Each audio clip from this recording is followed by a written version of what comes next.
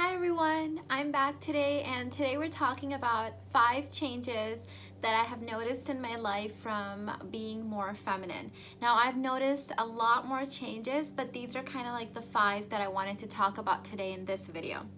So the number one, and I think this is kind of the most needed for me in my life, uh, change, positive change is I have a less sense of urgency in my life.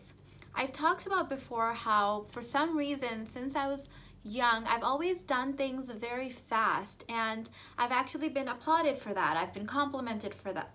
You know, people notice that about me that I'm really fast in my tasks, whether it's lear um, learning something, whether it's cooking or cleaning.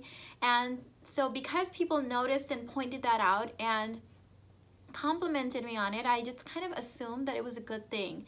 But, you know, now that I'm a mother of three, I realize in my child rearing and just in life in general that I don't want my entire life to be this kind of fast thing that I just ran through, right? I want to be fully present here for myself, for my children, from family, friends, and really embody all the experiences that I'm doing versus just being busy from one task to the next. So this is a difference I feel like that's where you're running away from life, where you're just kind of like running from yourself and your feelings, to really embodying every experience that you touch.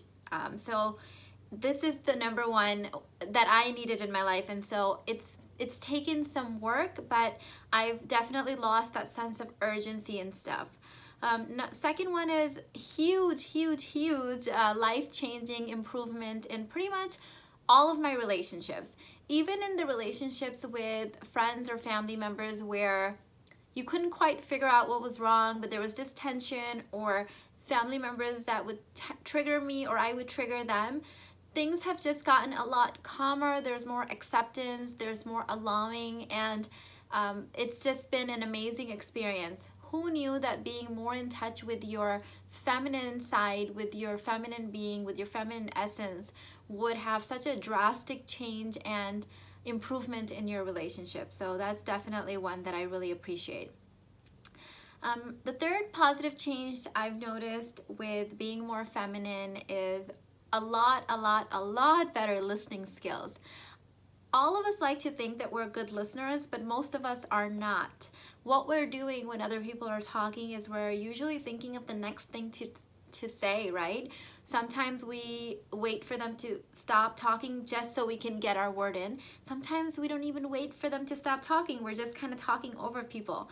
So this is one that I'm really grateful that I am able to really listen from a place of embodiment, being in my body, not being in my head, and not thinking the next thing to say, not fixing, not criticizing, not advising, not coaching, but just being there and witnessing the other person in their as a state. Uh, the fourth positive thing I've noticed since being more feminine is that I am more attractive to people. And this isn't just about physical appearance, right? Because I feel like I've always looked very feminine, but my behavior and the way of being wasn't always as feminine as I would have liked. It wasn't even something that was in my radar. Uh, but now that I have embodied this new way of being, I noticed that people just in general notice me more. This may be children, animals, uh, people um, of all genders, even my own friends, just acknowledge and notice my presence a lot more than before. Uh, and let me take a sip of water. The fifth thing I've noticed is that overall my communication skills have improved tenfold, if not more. And because I'm a better listener, my communication comes from a more authentic place of really trying to know and feel the other person versus just trying to fix them, right? Or, or talk at them or advise them. All of these changes and more have been truly life-changing for me. I feel better, healthier, more calm, more at peace, more intent, and more intentional in my lifestyle, which has been my number one goal um, you know, that you guys have been following for years on my channel. Um, and this is kind of just one more uh, piece to that puzzle. Now, there are some negative effects of this too.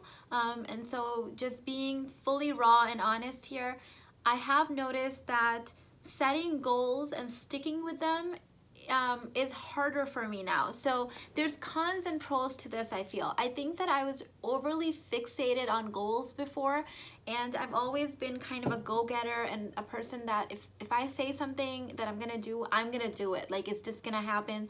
There's like no way that I'm gonna fail. I am just that type of nature.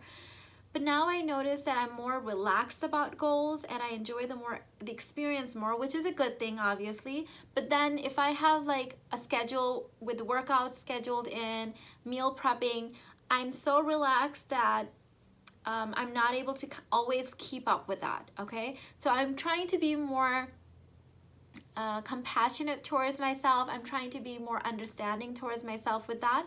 Maybe I just needed a break, but I'm also kind of pushing my limits a little bit more as well because I don't want to settle, right? I'm, I am that person that's a biohacker. I like, like trying new things. I like pushing my fears. I like pushing um, through things that may be setting me back. So this is something that I'm going to keep working on and I will definitely be sharing more with you guys.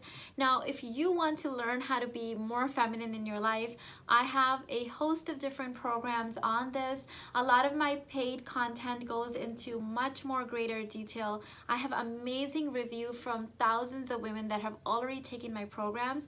You can find all the reviews and the information on the programs on my website Everything is listed um, in the description box with like a little quick description of each program. But if you want to learn about feminine energy, the place to start is my high value monthly babes membership club. In this club, we have about seven sessions, live groups training sessions a month.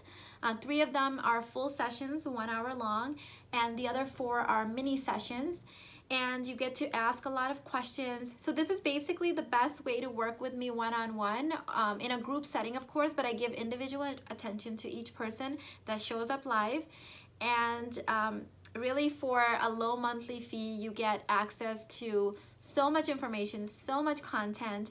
Um, here's a hack for people who are on a budget. So it, it bills you monthly and you can cancel every time. So let's say if you subscribe today to that monthly membership, there's all the content gets re recorded and posted up there and is available for replay. If you had time and you binge watched all the previous sessions, joined us in the next ones, and canceled, it wouldn't bill you the next month, but it would, um, you have that access the first time you pay for 30 days.